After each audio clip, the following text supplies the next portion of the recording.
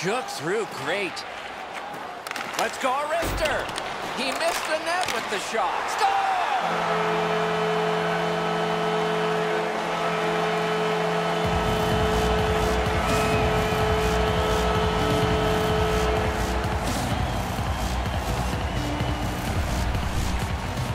Oh, you're not going to see a better one-timer than that. He had his body in a real good position, showed the passer a target, let go of that puck really quickly. The goaltender had no chance on that beautiful one-timer.